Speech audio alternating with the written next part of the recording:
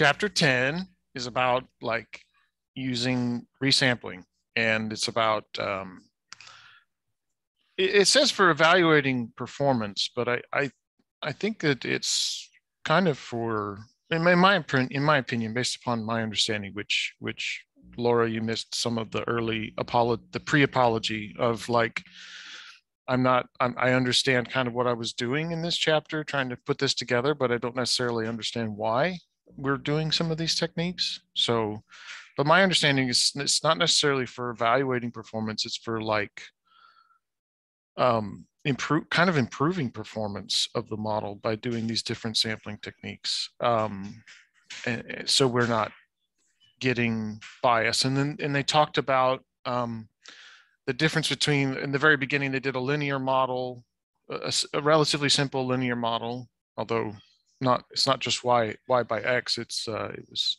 i forget what exactly it was it was sale price by neighborhood living area year built building type and so on and so forth.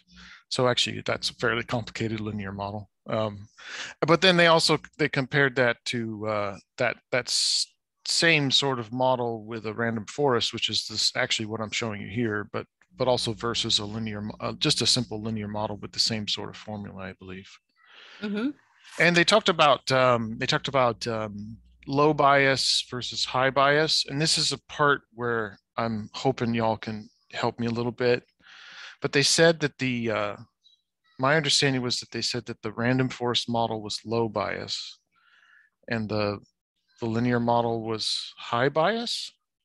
Yeah, that makes it, sense because um, the more likely you are to overfit, that's more of like a um, higher variance but lower bias. And random forest, of course, is a lot more, um, you know, fitting to the data, I guess, going on.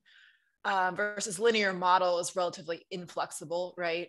So it's lower variance but higher bias. It's like that bias variance trade-off. Um, yeah, and there was a there was a graph, but uh, I seem to have lost it um, where they showed did they update this this morning? Because I swear to God, I was looking at a different page. Oh, I'm in chapter 11. That's why. okay. Uh, that would explain a lot. Ah, dang, where is it? It was a graph there, this one, right? This has to do with uh, uh, resampling actually more than anything else. But as you, your, your variance decreases as you do more uh, folds um, is that this? Is that related, or not? Or not really? With I, what? With the the, the low high bias between between the model types. I'm really out of my element here, guys. I'm really sorry. No, that's, that, that's that's what we we're doing. So um, uh, this uh, is the a way when you do resampling is a way to have uh, a different composition of your data set. So in a way that you can trust your model as much as possible when you test it on on the test set. So if you do more resamplings more more uh, subgroups of your um, more replication of your data set uh, with different compositions of, of your observation, you might be able to trust more your result uh, because you can think about that you are testing it, it's just as the same as testing it on a testing set. Okay. Yeah, and I think here's what I'm, I'm taking from that graph is that's that's a replication. If I'm looking at the um, yeah, sorry, I scrolled up no, it's fine, of a 10 fold cross validation. So each time you do 10 different folds. So maybe, you know, holding out 20% and then 80% being used in the model.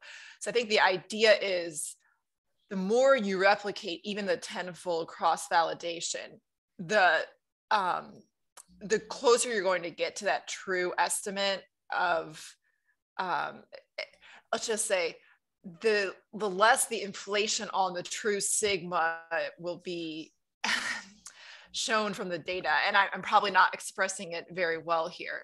So the more basically the more you sample the more you do it the closer you get to like that true true value. Um, the population value i guess maybe true is probably not the right word there.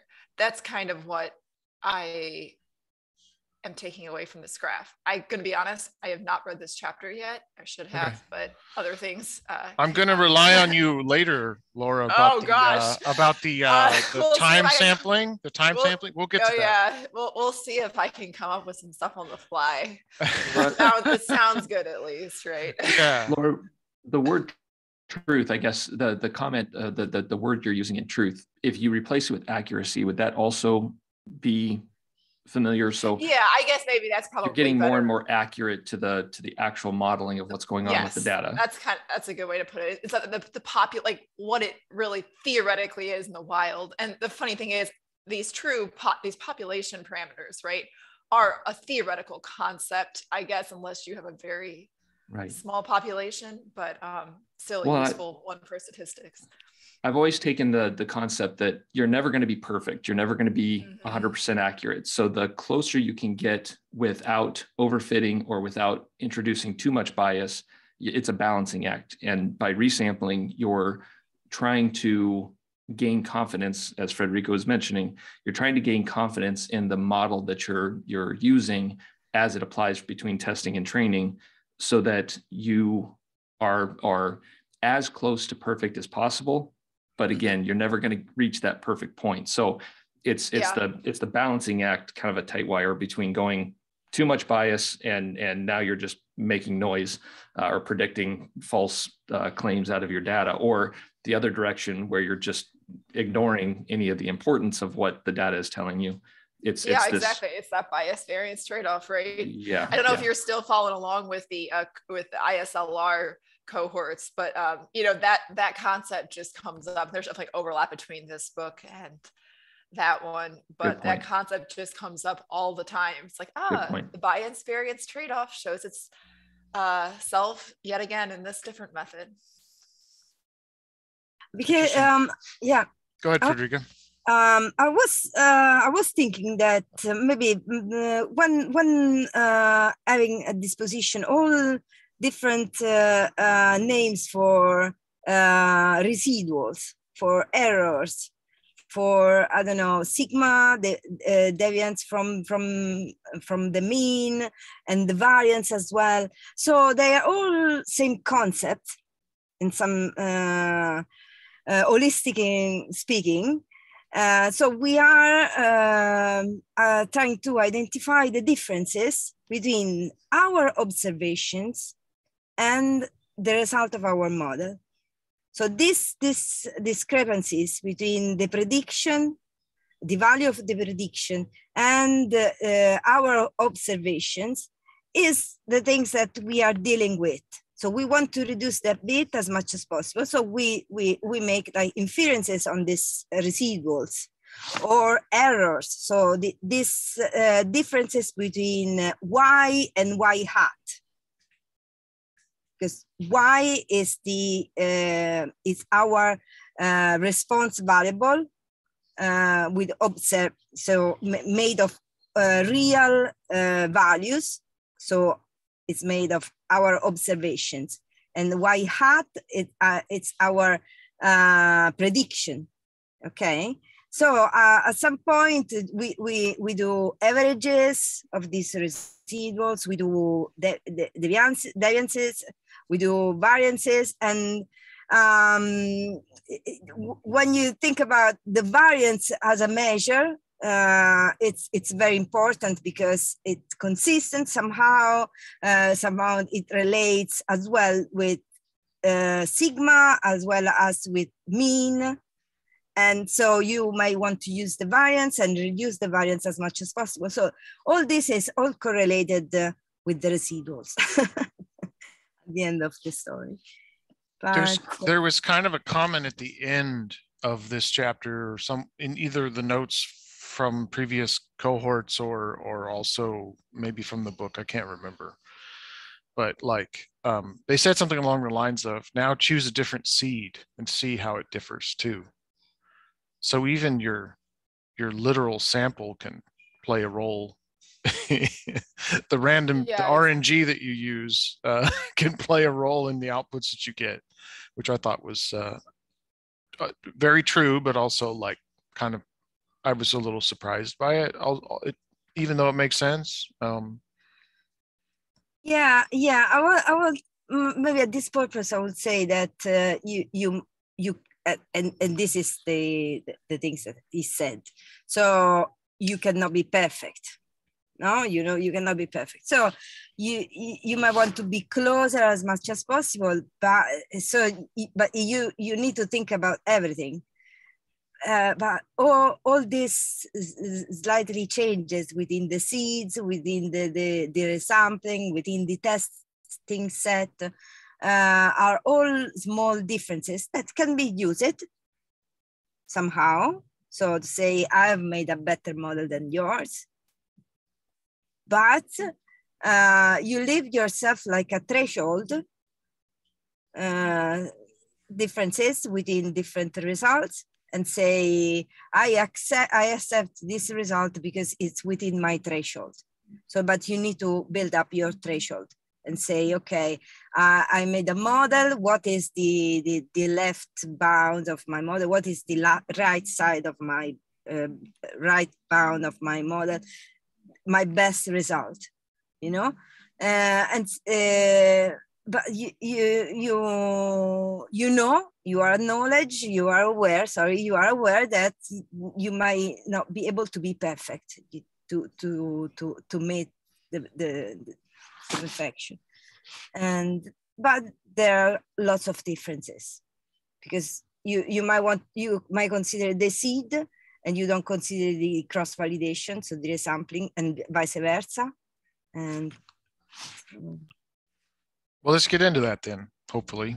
Um, so I uh, I created a script here to kind of run through all of the code that was in the book, more or less. Um, and because uh, I don't know, the previous chapters, I always find myself trying to follow along as as we go. Um, in fact, where is this thing? Is it my downloads folder, desktop, or something? Sorry, my computer's a mess. Um, I think I put it here. Where's the darn thing? It's like chapter 10. I was gonna say, Brandon, don't feel bad about losing uh, files on your computer. I'm the Oh, it's right way. here in front of me. It's right here in front of me. What I was gonna do, holy crap, can't get my screen back. Uh, what I was gonna do is drop it in the in the club if I can do that. Um, that way y'all can follow along if you like. But but I'm trying to run all the code in the in the in the book. Ah, oh, geez. This thing sometimes it doesn't doesn't do the select doesn't bring the R forward. It's been bugging me for actually years. Um, so so I, like I said previously, like um, they always more or less start with this sort of uh, this sort of structure where you're pulling in the Ames data, you're mutating it, uh, mutating the sales price um, into a, a, log scale. Um, and then you create the split with the train and the test. And then, and then you can start doing all the analysis. So they, they have a, a linear model that's that we define here um, with all these recipe steps. And then, uh, and then they do the workflow and then you do the fit and then you have a fit object, which has pretty much all of the, all of the information outputs from a, from a, a model would be. And then they also do a random forest model. And the idea here is that you have both of those models. Um, and they do very different things in the way that they interpret the data. Um, random forest, in this case, I believe they're using a thousand trees, and those trees, they say later in the chapter, are using bootstrapping style techniques um, for each one of those thousand trees. And then what they do is they they they pull the information and try and compare that information between those those performances of the models for the testing and the training set. Um, i put all that stuff together hopefully. So you can see here that uh, if this is hopefully this is big enough for y'all. Um, you know for the for the linear model on the training set, we have the R, R mean squared error and the uh, R squared value. And you can see that the, um, um, the random forest model performs a little bit better in general. Um, and I think that that's kind of the first stepping stone towards, uh, you know, saying that sampling techniques are useful. So, um, you're improving the the predictive capacity of it although it's strange because i think a little bit further down they they they showed that the the random forest model actually because of the bias variance trade-off over predicts can over predict not necessarily always does but can over predict and the linear model is more robust but my my gut intuition just looking at that the fact that the test um, rmse is quite a bit higher actually by you know than the training on the random forest. Is kind of a i'm not saying you did anything i'm just saying the data right? Um, because that generally you don't want to see a huge difference between training and testing. Um, if so it can be a sign you've overfit. Um, so i don't know. I'm not sure Okay. what they're going to say about that. That's just something that pops out to me. Yeah, yeah. So that was well, maybe that was what they were explaining, and I didn't quite understand. Um, but that's a good call out because, like, uh, I didn't, I didn't, I didn't really pick that out. But yes, there, there's a big difference, a twofold difference between the RMSE between the train and the test um, for the random forest model. Um, and, and then they start to, you know, they start to to get into like all the different types of uh, cross validation and and I'll, I'll I think the pictures in the in the book are are maybe a better place to kind of show that. Um, at first they kind of they they kind of show you what what is resampling um, and and um, you you're always you're always resampling from your training test tr- training set not your testing set you you never you never touch the testing until the very end um, and you you resample and there are different ways of of doing that. And so the the first one is where you split your training set up into little smaller sets and for every every v fold so v fold is the the, the number so in this case three fold validation they they split the the data in the te- in the training set up pretty much equally as my and it's randomly assigned um yeah. And so like uh one of the, one of the things that was pointed out i think uh either in one of the previous i watched a couple of the previous cohorts videos and they were talking about how if you choose if you don't have a relatively large data set to start with so your training set is kind of smaller although what smaller is i don't know. If you choose a whole bunch of folds and you y- your your actual model inputs get smaller and smaller and smaller until probably it's not predicting anything. And what that threshold is i it wasn't clear to me and it may not be clear. It may depend on what the model inputs are in general and and and how good your data fits that. Um and uh let's see. Here they talk about like you know three is not three is not an ideal choice. We usually do five or ten and and the authors um, prefer tenfold cross validation as kind of a default. Um, there we go. So then they show they show how to do that. So they have this v fold cv and you you give it the training set and then you tell it how many folds you want. And just like just like kind of previously when we talked about i think it was chapter five when we were talking about using the data how we use the data. These splits that you see here are not they're lazy evaluated they're lazy eval. So they're kind of they're they're just references to the original data set so that it's not copying things in memory left and right. Um, and that's really that's really good because it keeps if you have a happen to have a very large data set you're not you're not making a bunch of copies in memory and they say that here um, and the way to read this is that um, you you have i believe this is the within it this is the there's two different things. What did it say at the, at the up here? It's like analysis and assessment parts of the sample. And so as part of the as part of the uh, of the fit they use they use these parts to to fit the uh, the model itself and then you do some sort of like analysis test of of your performance um, and so you have these splits here within within it and i believe this is the uh, the tw- 2000 is the, the, the number that are in the uh, model fit. And then, then you have like the assessment as the, the subpart. You can see that it somewhat varies because these splits aren't necessarily even across the data set. Um, let me see. So then, then, then we get back to the, the repeated cross validation. So like you can do cross validation once and then you can do that cross validation again and again and again and again and get different subsets, different, different things. And uh, the outputs then are uh, allow you to kind of, um, my understanding here again is quite weak, but it's like you, the purpose here is that you're, you're, you know, increasing this denominator a little bit more by, by adding those, those samples and then therefore your variation, the expected variation that you're not accounting for is decreased. Is that is that fair? We were kind of talking about it before, but yeah, it has to do with the variance of the estimate, right? Um, versus the the amount that you're predicting.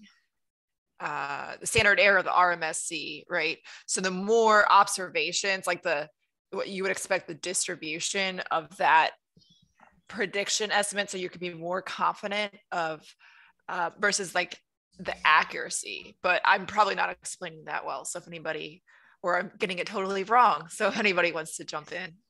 Uh, so sigma is not like, uh, see, I'm trying to look here up at this text, uh, error estimate standard error. Yeah, so the estimate of the, okay, so this is saying the RMSE is a statistic of choice. So however, because it is like a it is a statistic, right? There's a standard error associated with it. The more you replicate that cross validation, the um, more that the, the tighter the estimate of that RMSE, you know. Um, so it's like the, the distribution gets narrower around that mean. That's kind of what I'm seeing. The more you replicate, for instance, tenfold cross validation in this case. Yeah, because I may be cutting it off, but they said that as you resample, the expectation is that it, it is normally distributed, the RMSE Yes. itself. Yeah. Okay. So uh, the way to do that is to uh, give it the training set, tell it how many uh, folds you want to do and how many times you want to repeat it. And this creates a tibble of link 50, so five times 10. Um, and then uh, and then you can you can run your model with these uh, with this with this input uh, and we'll get to that later because there's slightly different functions the fit is called fit underscore resample instead of just fit and it uses this these folds these split data sets as uh, as input um, leave one out cross validation there's there's no love for this in this book or in the cohorts previous uh, most people just seem to skip it um, uh, I remember leave one out as being a little more important back when uh, when when I was first starting to try and understand some of these techniques uh, a long time ago. But like uh, apparently that's no longer something that's really done. Yeah, that's so interesting to me because in the ISLR book, and I I think some of the videos I have watched that associate with the ISLR, those authors see now they're you know older school people. I think um, I don't think they even use like the tidyverse or anything like that, but they seem to like leave one out. Federica, Ryan, you guys have is that your impression yeah. too? But I know you guys have been in those cohorts. That's so I don't know. It's just interesting to me when I'm to the tidy models guide for that book. It was like it's not integrated. We don't really recommend it. I was like, oh, okay. Right. One assume that it's using more efficient sampling or or more efficient cross validation. I'm I'm I'm trying to say that that older statistical modeling methods use one format or workflow, and then when you cross over into this tidy models world, you've got a whole different programming that does a lot of the work for you automatically. So you don't have to use those features. Uh, you don't have to, to uh, uh, view or, or go through those older statistical methods. Yeah, and I guess if you were doing like a lot of the replications of the cross validation, right? Theoretically, you could be doing getting the benefit of fitting many different models on different splits of the data. Um, so I don't know. That's just a thought that occurred to me. Yeah. Yeah. I mean, here their their biggest argument is that it's computationally excessive. If you think about having to fit, what was it like 20, 2200, 2300 models instead of fitting say 50, um, as we've done with the uh, the resampling above, um, there's a huge difference in computational time there, um, potentially, depending on the, the complexity of the model. So I understand the reasons. It's just I was kind of surprised to see how how how dismissive pre- some people were about it. um, but it's it yeah not too important. It's not too difficult to do if you want to use uh, leave one out. You you use this function. I didn't put any uh, uh, I didn't put any leave one out um, stuff into the script that I sent to the to the group a minute ago, so it's just not there. And then Monte Carlo cross validation. Um, this one is, uh, if I understand correctly, it's it's previous resampling, previous sampling didn't reuse elements, didn't reuse rows of data, um, whereas Monte Carlo samples the rows every time, and you can have overlaps, you can have repeats of the same rows within uh, within a, a, a set that is brought forward to be fit.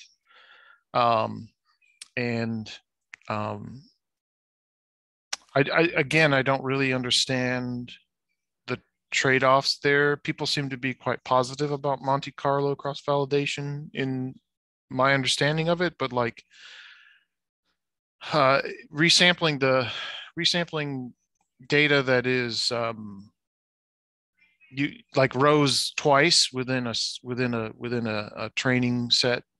I'm not I don't know that that makes sense to me. Like I'm not really under, I'm not really understanding why that's why that's useful because repeating data that you don't really like repeating one row that you you have like why does that why does that helpful? I'm I'm not really understanding that.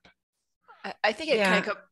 Uh, oh, Federica, you jump in. No, I'm, I'm uh, sorry. I'm just saying that uh, it might be possible that you have a, um, um, a repetition of observation in reality. So it takes consideration of this uh, uh, extreme conditions and some for, for some kind of data for some kind of prediction. That that's the best way to to make uh, um, resampling and as well as uh, the, I, I think the same as you as well um, when you think about even even the bootstrapping for example it's it's one more uh, way to to do the things and they are quite similar and so they, they have slightly differences uh, they will be uh, they, they are useful for different kind of da- different kind of data basically Can you say more about that? Like where, because that wasn't explained in these in these notes at all. Like what kind of data, other than the time series data being obviously very needing to be sampled in a very particular way.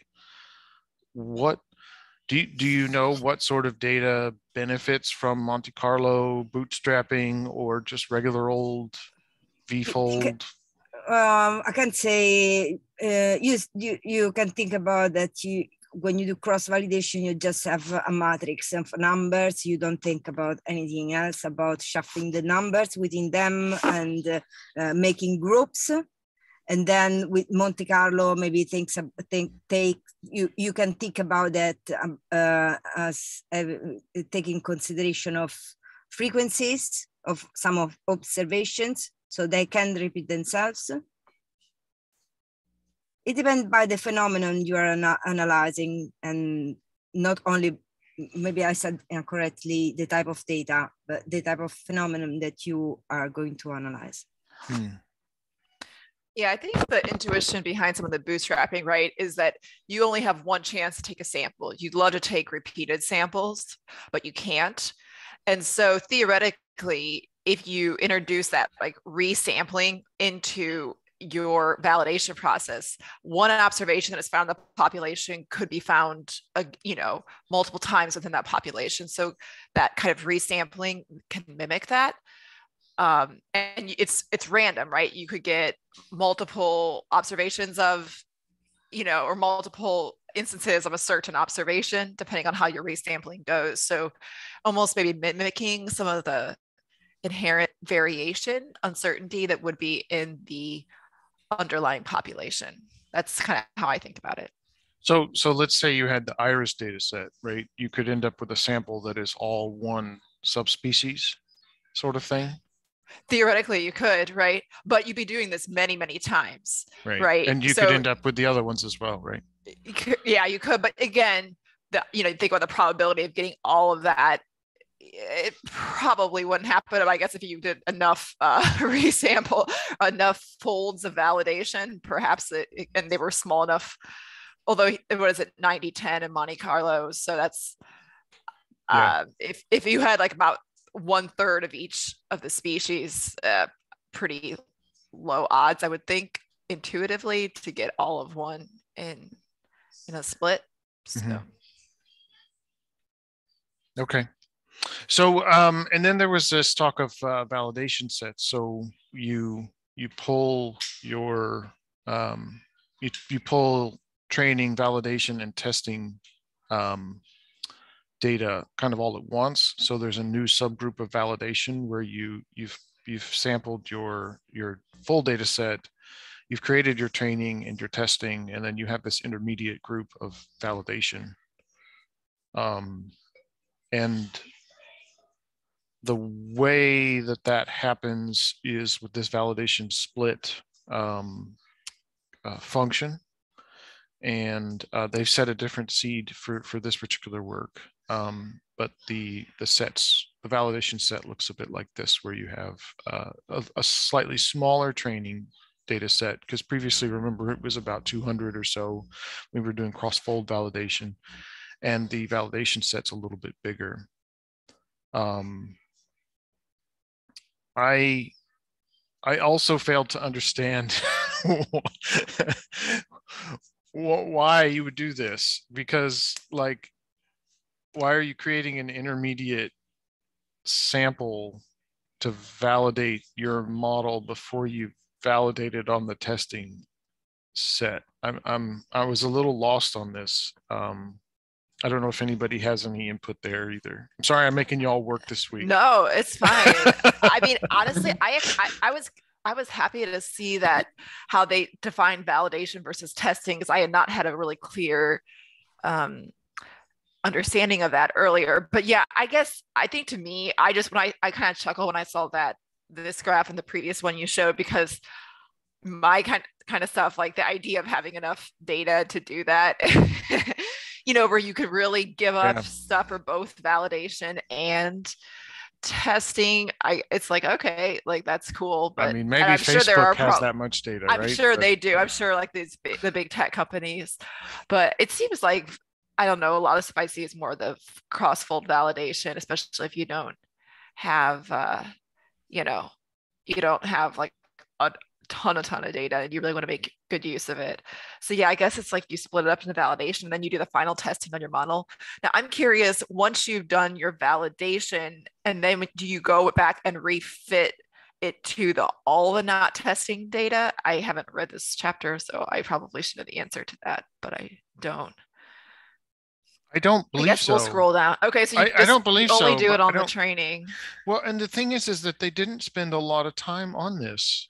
Yeah, and I if- if think it's because crossfold is more common, you know, at least the stuff that I've seen, crossfold Yeah. validation. like there's there's more. this is like the extent of the the code that that is the validation set code pretty much it's um it was it was kind of a little thin on the details if you ask me in general on on why why would you want to do this um and maybe that's in one of these other books that y'all are in the No, he, for. no, no. They mentioned they mentioned it. They mentioned it some, somewhere. I don't I, don't- now. that I, don't- I can I can tell you precisely.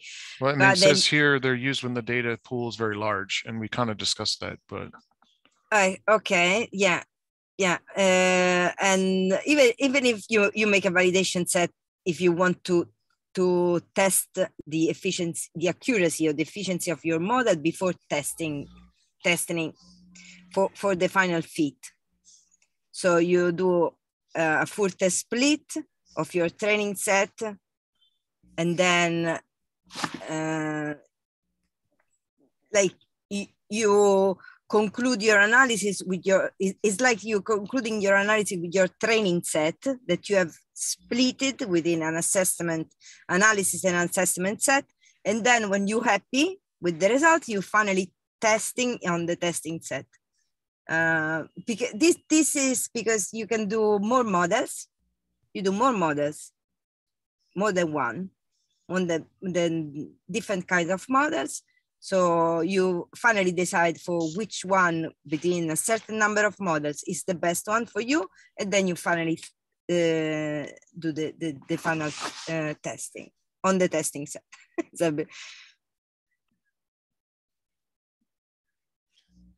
I, I, guess I get it, but I got I also don't because it feels like that was the purpose of the training testing to me, and then you're taking your training and splitting it between training testing again um, and they said that uh, not not only the authors uh, but more than one book says uh, that uh, you, you shouldn't uh, you shouldn't uh, test your model on the testing set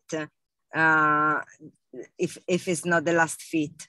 So the um, it, it, it's a it's a it's a matter of having new data. You have a you, you're analyzing a phenomenon and then you, you don't know what's happening in the future no? You you're attempting to predict this uh, the, the result and then uh, you know new data can can can arise can happen and new things can happen. And they may be within the average of your observation but they go they, they can be outliers. So uh, the, the, the, you pre-testing the testing set uh, to I don't know just like to to guess it to to guess the, the, the right the right conclusion basically. Hmm. All right, we'll move on to bootstrapping. Um, bootstrapping uh, um, is is actually the one I I think earlier when I was talking about um, uh, Monte Carlo, I think I was thinking actually of, uh, of bootstrapping because this is where you get um, the resampling where you could, I believe, where you can have repeats um, multiple over multiple iterations. Is that right? Or, or, no, that was Monte Carlo. Okay, so this one does do the iterations where you have the fit and the um, the fit. So you have the training and the validation. Um, so this is the training and this is the validation um, of that particular iteration. And then you can do this a whole bunch of times. So like we have bootstraps and we we have the um, the we're taking the Ames training and then we're doing it five times. And again, these are the create these create tibbles that have like these splits already in them. Um, and uh, they're just we they're just lazy lazily defined so that they're again we're not copying these things in in um, in RAM. Uh, I guess you know they they they seem they spent a lot more time on bootstrapping, kind of explaining it. It seems like people are a little bit more. Um, uh, in general, people are a little bit more encouraged to do, or, are happier to do bootstrapping. Um, but what they say here is that uh, bootstrapping tends to underestimate fits or or uh, the, the the the the estimate um, in, in general. So like they're, they're saying if the true accuracy of the model is 90%, bootstraps tend to be less than that just by a little bit. Um, and and this and, and that varies uh, based upon how how well the fit is. So you can have um, the bias is what they're saying here. The bias is different when you have when you're when you're having 90% accuracy versus when you have 70% accuracy. Um, and then they mentioned here that the the random forest model, which I brought up earlier when we when we first put that code in, um, is it uses bootstrapping as part of the underlying random forest. Uh, was there there was a I see. Federica looks like you are uh yes um is it like a sort of background noise or it's just me hearing it I can hear I can hear it. So I don't know if it's me or not. I can put myself on mute, my house is pretty quiet, but uh, My family's possible. roving around right now trying to get out the door for school. that's so that that's could be probably. them. I it sounds like some That- children in the background. and I don't have any children or dogs, so I don't know Yeah. if it would be. There, uh, we had a bit of a delay here. It's a it- ice, ice, uh, ice on trees and roads and everything here last night. So they delayed the start of school. So Yeah. normally I'd be at work well. too, but today it was, uh, it was a mess trying to get to work. You're on the East Coast, right, Brandon? So I Yeah, we had that back in, in, the Midwest. we had that yesterday, so I'm guessing you guys have it today. Yeah, So- it, it did it overnight. So we're all the trees are covered in ice. It's a bit of a mess. But uh, more up north, they got like a foot of snow. Oh my gosh. Um, let's see. All right, here, Laura, this is where I am hoping for some of your input because this is really interesting. This is really interesting though. Like, so if you have time series data and you're trying to sample time series data, you can't just randomly sample it and put put put time Mhm. back together. It doesn't work. Sadly not. And so what they do is they do like a so they have this they have this Yeah. time scale where it's like 1 to 15 and what they do is they just kind of take a rolling window over that Yeah. and then Mhm. They always try and fit to the more recent data. Yes. I don't Yeah. I, I kind of get I- why but maybe you can explain a little bit further. Okay, well, um, so I've done this kind of thing actually, although I guess I kept it, I didn't change the origin, but I changed the end. And uh, yeah, it's basically the idea being you, and then the TSCV, if you use Fable, um, is, I would, which is one of Dr. Hyndman's packages, is a really, has a good implementation of that. It takes a really long time. It's useful for univariate methods. Um, but yeah, the idea is that you are wanting to forecast out a certain amount. So you need to keep the data in the right order. Use a cert, use your observations. In this case, they're like using as let's see, what is that like eight observations kind of rolling and they're forecasting like three steps ahead. Um, so then you would compare that those three steps ahead, right, to those observations and you know group your metrics the same as you do and the, an- the analysis set um, the different configurations so when i did this as kind of a for my work um, i let it cumulatively grow um, and just because i was estimating i think some exponential smoothing arima and a comp, an ensemble method so that that can be kind of interesting because especially you want a certain amount of time series data so, you know, the more you can have, the better, um, especially when you don't have many observations, uh, as in my case. So, yeah, it's a really interesting way to do it. I, I, I did it not with TSCV, but um, you can use a map function from purrr. You can put in a vector of end dates. Theoretically, you could put probably use map two with start dates, and you know, um, go over that and then estimate and then collect um, and then you could calculate your you know weighted MAPE or RMSE. I, my company uses weighted MAPE, so I think that's what I did. I will say I took a really, I had probably took a really really long time to do it. I just had my little laptop with six cores, 16 gigabytes RAM, and it it was like hours. I was just on a Saturday, you just leave it, and uh, yeah, you you let it roll. So it's a it's pretty much how you have to do it though with time series because uh, there's not that randomness inherent because of the time. So Did I hear did I hear you right that instead of having a fixed window of say 8 points here you were actually varying the, the window? so I, I basically increased the end because I, I had like data going back to January 2018. My company's a little bit stingy in how much data we keep. And I think I wanted to get an idea. I think I was forecasting starting September 2020, maybe. Um, so that's not really that much, honestly, for time series data, especially on a monthly basis. So I thought, well, the more I can get, the better. And um, you know, I could have, I guess I could have just taken a very narrow, narrow sample, but I did the first variation that, uh, or configuration that is listed down there. Cool. Okay. Um if I guess if uh if anybody has any questions, I'll direct you to Laura. Hopefully I can answer them. Because uh, I, I actually think that I actually understood this one the most.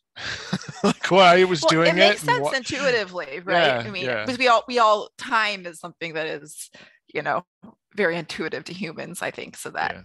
that helps. and you're trying to use the previous data, the historical data, to predict the most recent things or things that might happen in the future. And uh, Mhm. And so like you could do different scenarios where you know you vary some of the other variables and you're testing some of these things. Yeah, and I would say I, I don't think I mentioned this. You could I didn't do time series linear regression in this particular thing I was doing, but you could certainly do that with trend and seasonal, and you could probably do it with also, you know, um, predictors and stuff. The idea just is that this is the way you need to do the validation. So Yeah. So um they did uh they they made up some some time slices and did some things and um there's there's some code here to kind of get at this data and try and understand some of it. Um but they don't go so far as to actually I don't think anyway to like uh oh, so they're doing a 29 day skip. So it looks like they are maybe using daily data and then skipping ahead. I haven't looked, taken a really good look Yeah. at it, but well I mean the and the data is like not what's really going on. yeah the data is not really data either. It's just like uh it's I did not know about the rolling origin. That was kind of interesting function. I might have to check that out.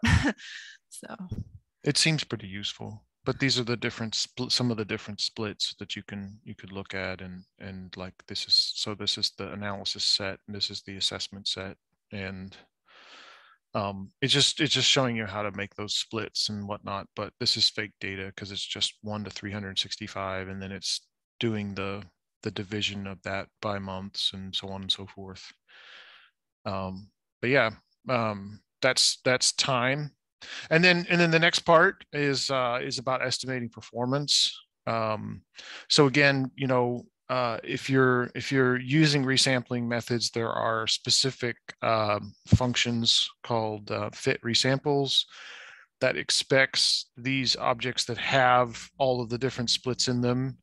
Um, I I didn't try to feed one of these objects to fit, but I'm guessing that it would error out and say, hey, you should use resamples instead. Um, and so like you can give it these different variations of things. So you can give it a formula, you can give it a recipe, you give it the resamples always. Um, and and those so obviously like the formula is part of the recipe and then the recipe and formula are part of the workflow and so on and so forth. So if if you want to build these things up ahead of time, you can do, and then you can just feed it, excuse me, feed it the workflow and then do the do the resampling. Um, and you can do um, you can set up different arguments within fit resamples so you can ask it to return different metrics it returns rmse and r squared by default and pretty much for all of the all of the the the sampling techniques that you know we've already discussed above although i didn't try the time one uh, and then kind of control um, in terms of like um, um, having uh, what sort of outputs you get. So like um, um, verbose gives you uh, logical print logging. So it's like true false. Do you want to print lo- a lot more information out as it processes? I imagine it tells you which iteration it's on or which which which uh, yeah which iteration it's on. Um, you later very at the very end you you can extract the um, the the the uh, the fit it's the fit parameters the coefficients and those sorts of things using the extract function i couldn't actually get this to work um, i ran into some error um, it's at the very end I, I don't actually know if we'll get to it because i'm i'm dragging on a little bit a little bit slower um, and then and then also like saving the prediction so you can like output um, um, the, the prediction the predicted values uh, or not um, if you save out the predictions, it's a, it creates a slightly larger um, output um, versus not. And so here they're doing uh, they're doing the the they create this uh, um, list with control resamples the function, and they're saying I want to save the predictions and I want to save the workflow. They set a new seed again. They take the uh, random forest workflow and then fit the the samples to the Ames folds, which was the uh, I think that's the simple initial V fold. Um, cross validation, and um, and then and then you you feed it the control part as well, and so you end up with a tibble that has all this information in it. Um, the dot metrics are are the performance metrics, so you have the RMSE inside. Um, dot notes um, is like warnings and errors that were generated during the the the sampling, and then the predictions are the the predicted outputs.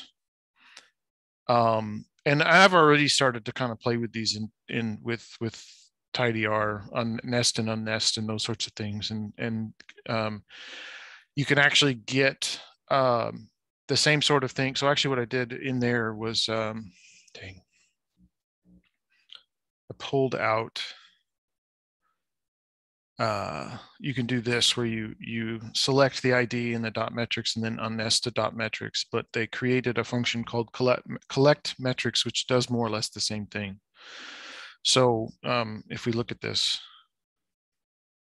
the output looks like, uh, oops, passwords like, hey, what are you doing? Um, it, it you get you get for each of the folds you get the RMSE and the R squared and and obviously you could pivot wider to get these to look a little bit nicer.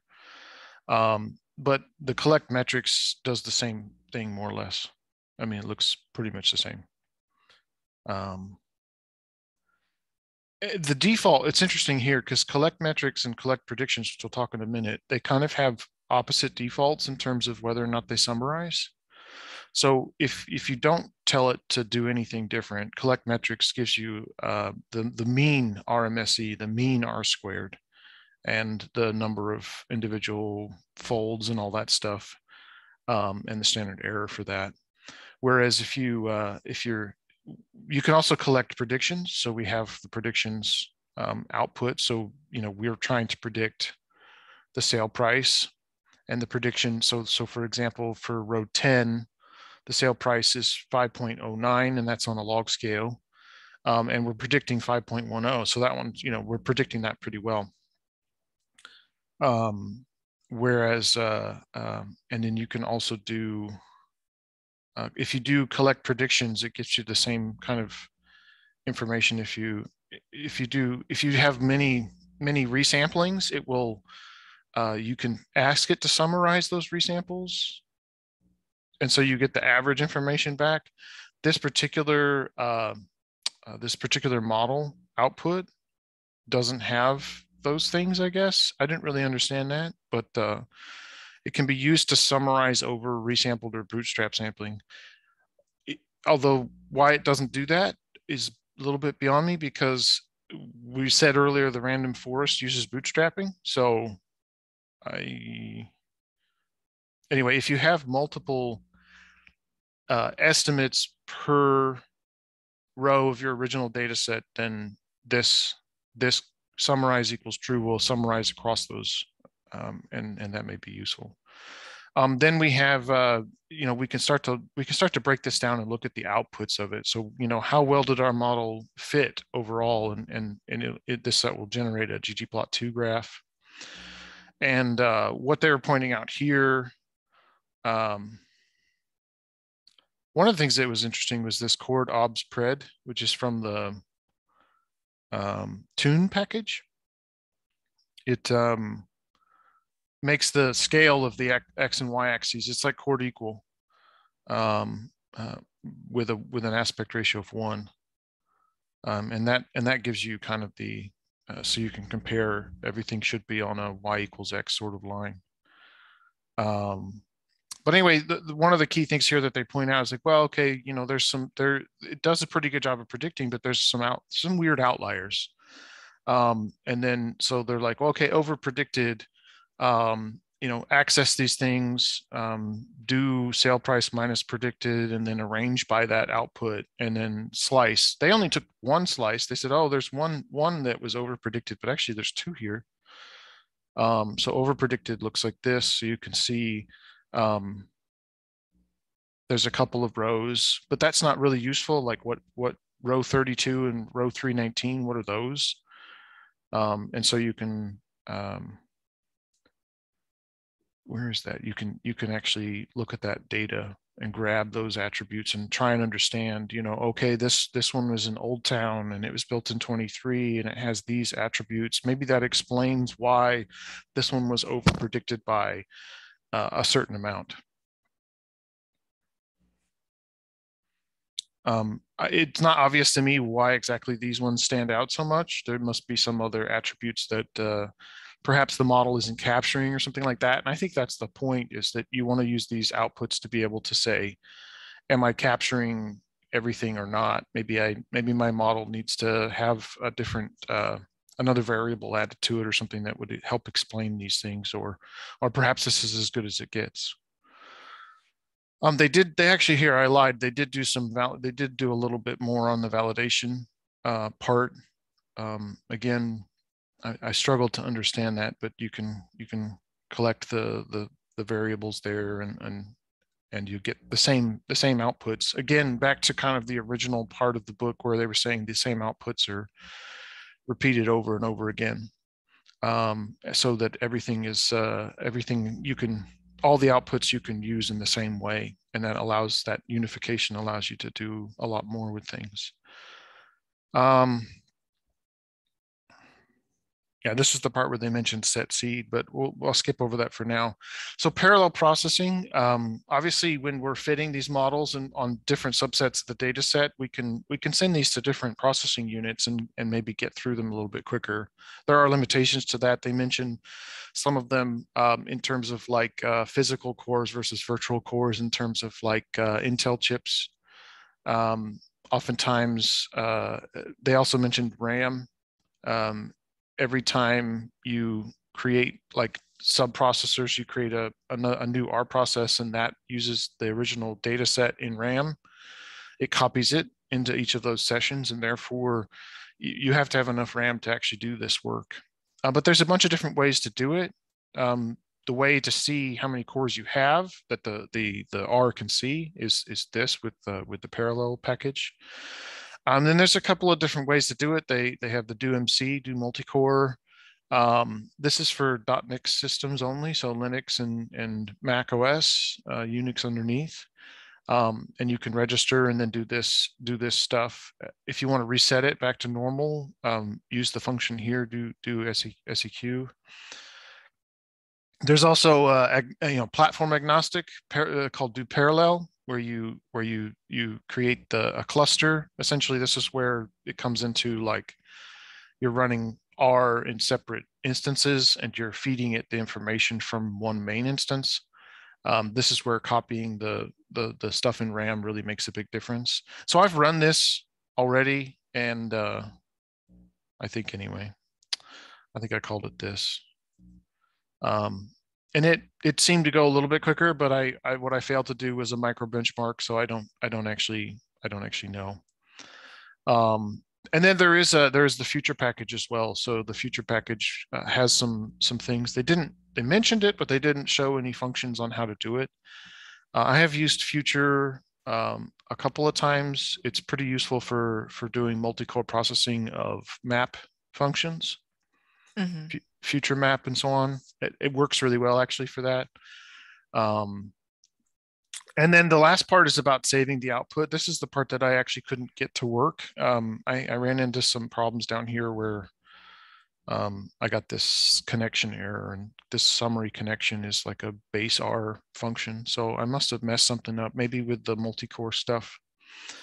Um, so anyway, this uh, this uh, uh, the key here is that what you're doing is you're trying to pull out the the fit function so that you don't have to refit the model and you can use those fits uh, at a later time and and space to to actually um, do comparisons between models and those sorts of things. Um, and that's i want to say that's it was that was that last part was a little bit quick and i'm sorry but I don't want to I don't want to run over too much.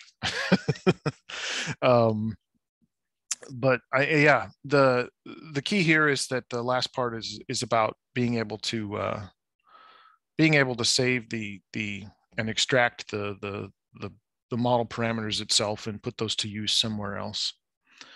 Um, and it shows you how to do that kind of here towards the bottom. And that's that's that's all I have for today. Um, I hope we covered enough of these things. I certainly learned a lot from you all today. Um, I thank you for your patience. Um, I knew I was going to be reasonable at early stuff, but later struggle a little bit more.